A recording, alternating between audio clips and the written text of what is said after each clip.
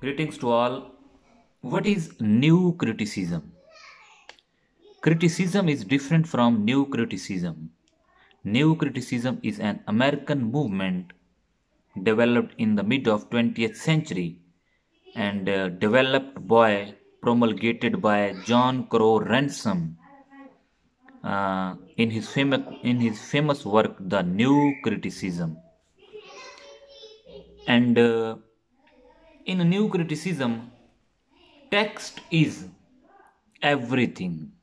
Text itself is the source of meaning. Close reading of the text is called new criticism. Words on page are called new criticism. And according to Thomas Stearns Eliot, T.S. Eliot, T.S. Eliot uh, is very prominent in, prominent in new criticism. And he says, lemon squeezing criticism is called new criticism. So basically, it's a reaction against reader response theory, and it's also similar with Russian formalism. So, in expressionism, writer is the source of meaning.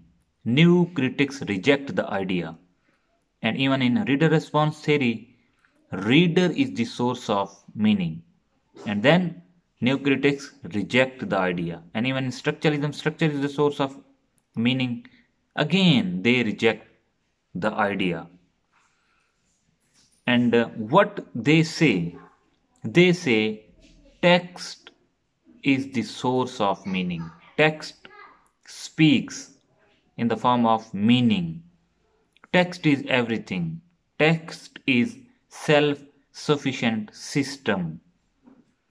And uh, important uh, authors, important writers in new criticisms are John Crowe Ransom, uh, W. K. Wimsatt and Beardsley.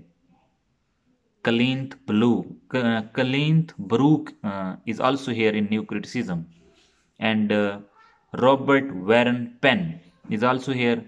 T.S. Eliot, a very prominent name in New Criticism, is also here, and I.A. Richards, and he has written an important work, The Meaning of Meaning, along with uh, W.C. Ogden.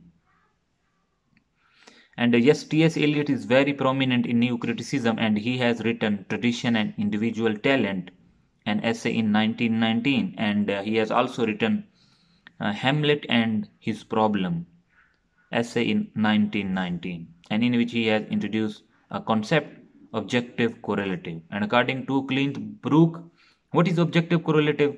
Objective correlative is the only way of expressing emotion and uh, what the main idea given by T.S. Eliot a chain uh, a set of event a chain of event a set of situation a chain of events which shall be the formula of uh, particular emotions and the idea given by T.S. Eliot and uh, uh yes I have already told you new critics say text is the source of meaning yes and i have already told you uh, new criticism is similar with russian formalism russian formalism is in uh, is in russia uh, started uh, started in russia and new criticism is started in america new criticism is an american movement and uh, both movement are same even formalism, form and content is everything. Then same is the case with new criticism. Uh, text is the source of meaning and uh, text is the combination of form and content. Where there is reader, uh, where there is writer, they reject the idea of reader and writer. Yes, W.K. Wimsatt and Beardsley is also here in New Criticism and both has both have promulgated uh, different terms including uh, intentional fallacy and affective fallacy and what is fallacy mistake in thinking that keeps us away from reality is called fallacy and uh, we can never understand the movement of writers writing. We can never believe. This is what we call uh, intentional fallacy. We can never understand the intentions of writer while writing a poem writing a drama so the concept was uh, the concept is given by w.k wimsatt and m.c Beardsley uh, in his essay the verbal icon written in 1954 and uh, where there is a writer there is an intentional fallacy. And where there is a reader this is what we call affective fallacy. Even we can never understand the feeling of a reader while reading a poem. And uh, this is the idea and this is what we call affective fallacy. So i have already told you mistake in thinking that keeps us away from reality is called fallacy. So again I am repeating text is everything.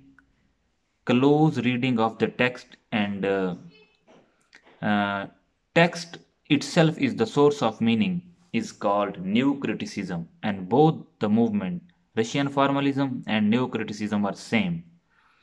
Uh, formalists say form and content uh, is everything and uh, new critics says text is everything. So uh, literary devices, plot, irony, paradox, simile, metaphor, images, symbols, uh, uh, all the things create meaning in the text. So, yes, Jacques Derrida has his own point of view regarding meaning. Language is the most slippery thing in the world, and uh, there are no fixed meaning in the text. And what new critics say, text itself is the source of meaning. Close reading of the text is called new criticism. So I hope uh, you people got it well. So if you have any question regarding new criticism or regarding Russian formalism, you may ask in comment section. Thank you.